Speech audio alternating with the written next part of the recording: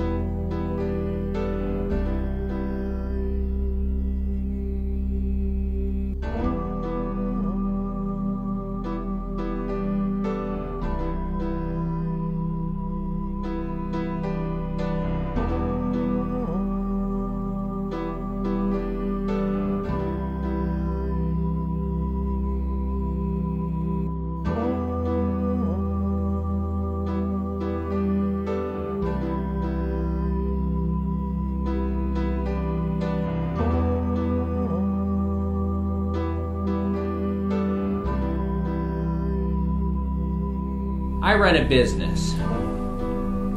Now, Joe never worked for me, but I would have been happy to have him.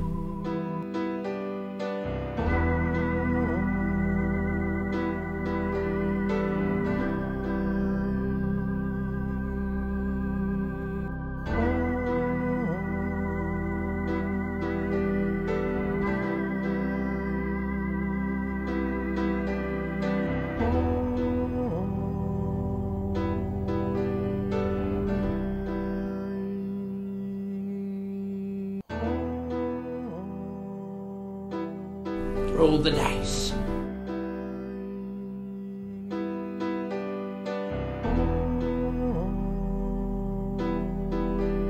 Roll the dice.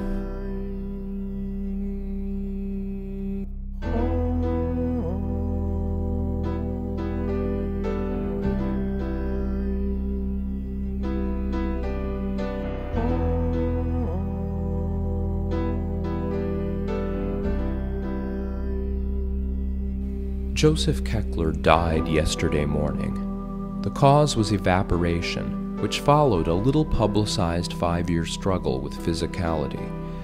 His roommate discovered Joseph's remains a titanium dental implant and a modest pool of grape liqueur on the floor in front of the sink. I don't know why that was there, the roommate commented in reference to the gummy residue of artificially fruit flavored hooch left in Keckler's wake.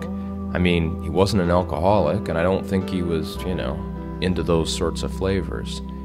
Maybe it's something he ingested years ago that his body just never fully processed. Or maybe he had just drunk it. I mean, maybe that's what killed him.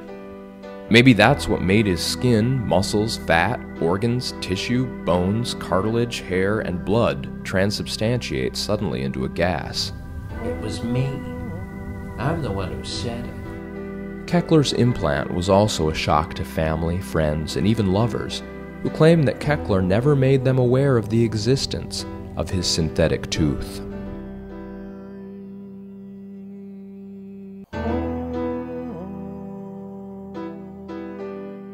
Roll the dice.